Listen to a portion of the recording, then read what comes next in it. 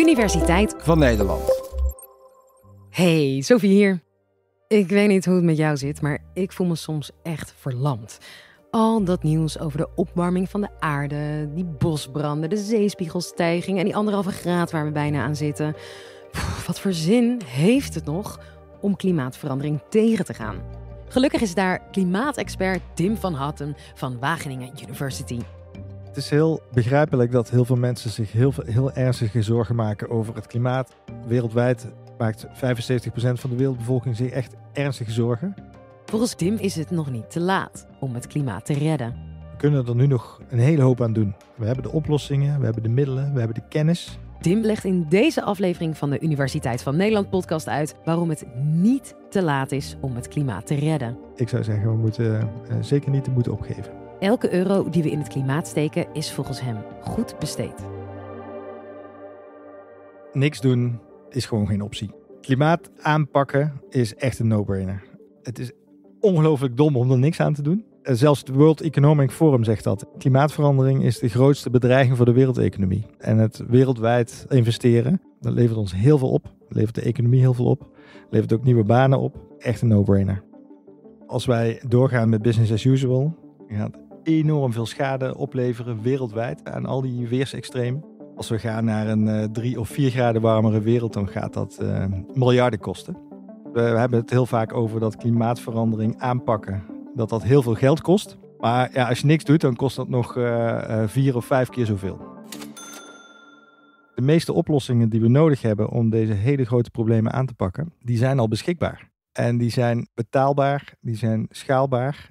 We hebben eigenlijk nog nooit beschikt over zoveel kennis en middelen om, om dit hele grote probleem aan te pakken.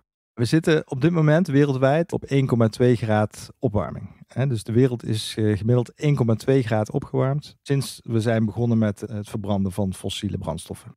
En nou, we hebben in het Parijsakkoord afgesproken dat we wereldwijde opwarming willen beperken tot 2 graden. En bij voorkeur anderhalve graad staat er dan in.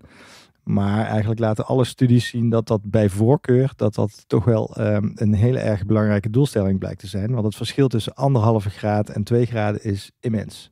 Bij 1,2 graden opwarming, uh, nou kijk naar de afgelopen zomer, wat voor een weersextreme we hebben gezien. Uh, eigenlijk door heel Europa heen. En dat gaat bij elke tiende graad gaat dat heel veel meer grote effecten opleveren we moeten ons ook beseffen dat, dat we met het vaststellen van het Parijsakkoord en die doelstelling van de anderhalve graad, dat we eigenlijk uh, 70% van de koraalriffen wereldwijd al hebben opgegeven. Want die gaan bij anderhalve graad al verdwijnen. En het is ook zo dat, dat bij het halen van het uh, Parijsakkoord de helft van alle gletsjers wereldwijd ook zal verdwijnen. En dat betekent dat heeft enorme consequenties voor onze zoetwatervoorziening wereldwijd. Dus eigenlijk die anderhalve graad, dat is een hele belangrijke doelstelling. Maar dat wil niet zeggen dat daarmee alle problemen zijn opgelost. Daarmee zullen we, zitten we echt in een totaal andere nieuwe situatie. Waarbij we enorm veel klimaatextremen zullen krijgen. Waar we ons ook aan zullen moeten aanpassen. 5% van al het geld dat er is, zullen we moeten gaan besteden aan, aan klimaatmaatregelen. Dat is natuurlijk ongelooflijk veel geld. Als we het niet doen, dan, dan weten we, dan gaat het nog eens een keer vijf keer zoveel kosten als we die 5% wel inzetten, dan gaat ons dat ook nog eens een keer vier tot vijf keer zoveel aan maatschappelijke meerwaarde opleveren. Schone lucht, schoon water, betere volksgezondheid, meer gelijkheid, gelukkigere uh, mensen die beter kunnen uh, werken en presteren. Dus het gaat ons heel veel maatschappelijke baten opleveren die vaak wat moeilijker uit te drukken zijn in geld. Maar ik denk als je dat meeneemt in de business case van klimaatverandering, dan is het aanpakken van klimaatverandering uh, uh, levert op heel veel fronten een win-win-win situatie op. Klimaatverandering gaat heel veel gevolgen hebben voor bedrijven wereldwijd. Als een bedrijf gaat kijken waar die bijvoorbeeld zijn grondstoffen vandaan haalt om producten te maken, dan gaan ze ontdekken dat ze bijvoorbeeld nou, afhankelijk zijn van water. Maar klimaatverandering gaat ervoor zorgen dat er misschien soms geen water is. En daar moeten ze dus op inspelen. En ja, andere bedrijven, bijvoorbeeld de landbouw, de hele voedselsector. Ja, dat is een sector die heel hard geraakt gaat worden door klimaatverandering. Door droogtes, door overstromingen, door ziektes en plagen die steeds meer gaan voorkomen. En dat is een enorm risico voor de voedselvoorziening wereldwijd, maar ook voor al die bedrijven die daar wereldwijd mee te maken hebben. De meeste bedrijven zijn er eigenlijk nog veel te weinig mee bezig. Dus die zijn allemaal nog heel erg gefocust op de korte termijn. Maar ze hebben nog niet goed genoeg in beeld gebracht wat klimaatverandering eigenlijk de komende 10, 20 jaar voor hun bedrijfsvoering gaat betekenen. En ik denk dat het heel belangrijk is dat bedrijven dat wel gaan doen. Want ehm, ik denk dat ze zich rotstrikken als ze daar eens even goed in de cijfers gaan duiken. Als je een beetje toekomstgericht denkt en denkt hoe de, hoe de wereld er ehm, nou, over 10, 20, 30 jaar uit gaat zien. Wetende dat we al die oplossingen moeten gaan doorvoeren die, die klimaatverandering uh, vraagt. Ja, dan levert dat enorme businesskansen op voor bedrijven. Onze hele economie draait op uh, fossiele energie. En ja, die zullen we heel snel moeten gaan uh, afbouwen. En we zullen energie op een andere manier moeten gaan opwekken. Nou, dus we hebben zonne-energie, windenergie, maar bijvoorbeeld ook waterstof die we kunnen gaan gebruiken. We moeten gaan denken aan opslag van energie. Hè, want de zon schijnt uh, op andere tijden dan we energie nodig hebben. De wind waait niet altijd als we energie nodig hebben. Dus we zullen ook energie moeten gaan opslaan. En zo zullen we eigenlijk uh, ja, veel meer energie moeten gaan, gaan opwekken die hernieuwbaar is. En uh, niet afhankelijk is van, van fossiel. Maar we hebben het eigenlijk vooral over die energietransitie. En ja, mijn kernboodschap is altijd van ja, we moeten nog veel meer doen dan dat. Eigenlijk moeten we op hele grote schaal maatregelen gaan nemen. Eigenlijk in alles wat we doen bijna. Ik heb in mijn boek, The Only Planet, daar heb ik uh, eigenlijk zeven routes geschetst naar, uh, naar de toekomst. Met allemaal oplossingen die nu al beschikbaar zijn en die, die, we, die we al kennen. Die we op wereldwijde schaal moeten gaan doorvoeren. Eén van die routes is energie. Uh, maar er zijn nog zes andere die, die we ook zullen moeten inzetten. Eén route die eigenlijk, wat mij betreft, nog, nog veel te weinig aandacht krijgt, is um, dat wij veel meer moeten gaan samenwerken met de natuur. Uit heel veel wetenschappelijk onderzoek blijkt dat uh, de goedkoopste en uh, meest effectieve oplossing is ons hele natuurlijk systeem. Want die natuur die helpt ons om enorme hoeveelheden CO2 uit de lucht op te nemen en op te slaan. En uh, dat doen bijvoorbeeld bossen, maar ook oceanen. Hè, er zitten heel veel algen in. Die nemen enorme hoeveelheden CO2 op uit de atmosfeer. en moerassen, wetlands zoals we die noemen, die, die kunnen ook heel veel CO2 opnemen. En wat wij aan het doen zijn wereldwijd, is die natuur eigenlijk uh, stelselmatig aan het afbreken. Dus het vermogen van die natuur om die CO2 op te nemen, die wordt steeds kleiner. Heel erg slecht nieuws voor het klimaat. Want die natuur, die hebben we keihard nodig in de strijd tegen klimaatverandering. Nou, het wetenschappelijk onderzoek heeft laten zien dat als wij die natuur op hele grote schaal weer gaan herstellen, dat betekent niet alleen het beschermen van de natuur die we nog hebben, maar ook het herstellen van de natuur die we kapot hebben gemaakt. Als we dat op hele grote wereldwijde schaal gaan doen, gaat ons dat voor een derde bijdragen aan het halen van het Parijsakkoord. En een bijkomend voordeel is dat natuur ons heel erg goed kan helpen tegen het opvangen van de gevolgen van klimaatverandering. Natuurherstel kan helpen om overstromingen te voorkomen, om water vast te houden, zodat je in periodes van droogte goed dat water kan vasthouden, dat dus gevallen in periodes dat wel nat was. Dus de natuur levert ook nog ons, ons uh, veerkracht, zoals we dat noemen beschermt ons tegen de gevolgen van klimaatverandering. Dus ook dat is een win-win situatie als je daarop inzet. Wereldwijd de natuur als oplossing gaan zien voor het klimaatprobleem, dat is een route die uh, topprioriteit moet hebben. De tweede route die heb ik uh, het blauwe goud genoemd.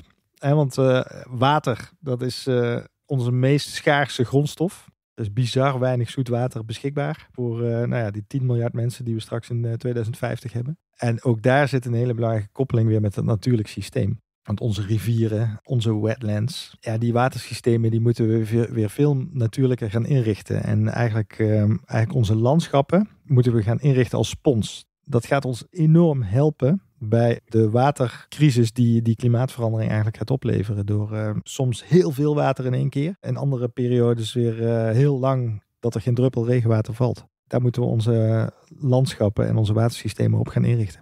Het water zoveel mogelijk in, in die watersystemen vasthouden. Zodat we dat kunnen gebruiken in periodes van, uh, van droogte. Ja, en, en, en onze rivieren weer op een natuurlijke manier gaan inrichten. Zodat die rivieren kunnen overstromen uh, zonder veel schade te veroorzaken. Als je anders wil omgaan met water, moet je ook gaan kijken wie het meeste water verbruikt. En wereldwijd is dat de landbouw. En 70% van al het water wordt gebruikt om, om voedsel te produceren. Ook daar ligt een heel groot deel van de oplossing, ook voor klimaatverandering. Het is nog steeds zo dat een derde van het hele klimaatprobleem wordt veroorzaakt door het voedselsysteem. En 70% van het verlies aan biodiversiteit wereldwijd wordt veroorzaakt door het produceren van voedsel. Dus willen wij het klimaat- en biodiversiteitsprobleem aanpakken, zullen we ook moeten toewerken naar een totaal ander voedselsysteem. En gelukkig zijn ook daar allemaal hele mooie uh, en belangrijke oplossingen voor. En eigenlijk het belangrijkste is misschien wel dat we veel meer moeten gaan beseffen dat een gezonde bodem het fundament is voor het produceren van gezond voedsel. Wereldwijde bodems zijn in hele slechte toestand. Dus we zullen veel meer uh, duurzamer voedsel moeten gaan produceren in balans met het natuurlijk systeem. Uiteindelijk zullen we echt toe moeten werken naar een heel ander economisch systeem. Onze economie op dit moment is heel erg gericht op economische groei. En dat vinden we het allerbelangrijkste. Maar eigenlijk als je mee zou rekenen wat de schade is die die economie toebrengt, bijvoorbeeld aan de natuur of aan uh, het welzijn van mensen, dan groeit onze economie al decennia niet meer. En dus zullen we ook ons hele economische denken moeten, moeten herzien. We moeten veel meer toe naar een economie die in balans is met, ook met een natuurlijk systeem. Want onze hele economie is dus afhankelijk van, uh, uh, ja, van ons natuurlijk systeem. En dat kun je bijvoorbeeld doen door een, een, een, prijs te berekenen voor de schade die die, die, die economie toebrengt. Hè. Dus bijvoorbeeld een boontje uh, die, die geproduceerd is in Afrika en hier met het vliegtuig naartoe komt. Die heeft een hogere CO2 footprint dan een boontje die in uh, Brabant is geproduceerd. Nu zie je dat vaak niet terug in de prijs. Sterker nog, soms is het boontje uit Afrika goedkoper dan het boontje uit Brabant.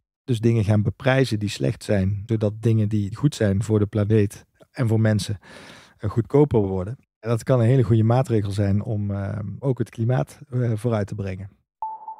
We hebben het heel veel over de circulaire economie. Je produceert iets, je gebruikt iets en daarna ga je er iets anders mee doen. Die circulaire economie, daar liggen nog enorm veel kansen. Want op dit moment is nog maar 8% van onze hele wereldwijde economie is, is circulair. En nou ja, als, als we die economie veel op een veel grotere schaal circulair zouden gaan maken, zouden we dus en veel minder afval hebben.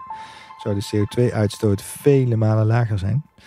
En zou ons dat heel veel uh, nieuwe banen en businesskansen opleveren. Ik sluit af met uh, route 7 en die is eigenlijk veel meer gericht op, uh, we moeten van, van welvaart, hè, dat gericht op economische groei, we moeten veel meer naar welzijn. En eigenlijk route 7 die gaat veel meer over geluk en gezondheid. En uh, ja, eigenlijk denk ik dat, dat wij als, als mensen nou langzaamaan steeds meer beginnen te beseffen dat we helemaal niet gelukkig worden van heel veel dingen waar we nu wel gelukkig van denken te worden. Hè. Grote auto's en grote huizen en status en ehm, heel veel dingen die eigenlijk slecht zijn voor het klimaat, daar worden we helemaal niet gelukkig van. We worden gelukkig van uh, met vrienden en, en familie uh, goede relaties hebben. Daar worden we gelukkig van. Maar je wordt bijvoorbeeld ook gelukkig van als je zoveel mogelijk in de natuur bent. Hè, dus heel veel onderzoek die heeft laten zien dat ehm, als we ons meer verbonden voelen met de natuur, dat onze stress echt significant omlaag gaat.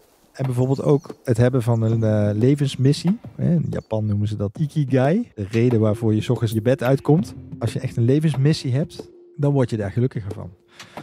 Nou is ook uh, bewezen dat als je klimaatmaatregelen neemt, of als je dingen doet die goed zijn voor de planeet, dat je daar dus ook gelukkiger van, wordt. Dus ik hoop dat heel veel mensen als uh, Ikigai, als levensmissie, uh, het redden van de planeet, op top van de eigen prioriteitenlijst gaan zetten. Want daar worden ze en gelukkiger van en, en, en we gaan het klimaatprobleem sneller aanpakken. Dankjewel voor je uitleg, Tim. Fijn dat je weer een beetje hoop hebt kunnen geven. Ik hoop dat jij dat ook zo hebt ervaren. Bedankt voor het luisteren en tot de volgende.